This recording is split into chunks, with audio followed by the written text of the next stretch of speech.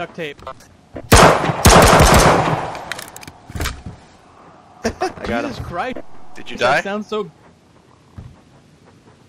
Oh man, I'm bleeding.